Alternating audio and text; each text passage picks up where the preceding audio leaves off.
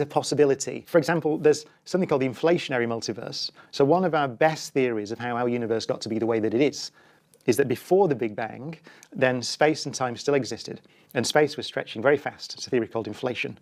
And then that period of time draws to a close. So the, the, the expansion rate, this incredibly fast expansion rate, slows down, and kind of the energy driving it collapses, changes form or state, and that's what we call the Big Bang. So the Big Bang is the end of inflation.